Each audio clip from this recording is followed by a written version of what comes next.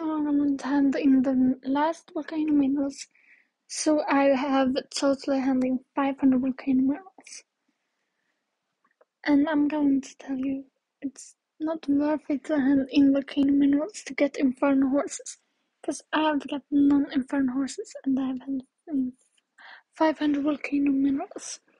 And that takes a lot of time. It takes like um 20 days to get 500 volcano minerals and every day I'm like spend 6 hours on getting volcano minerals and that's in total is like six um, it's like um,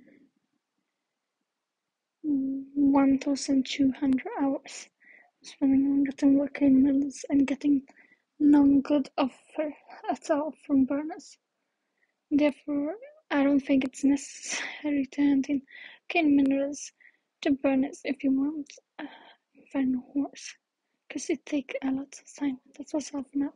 Bye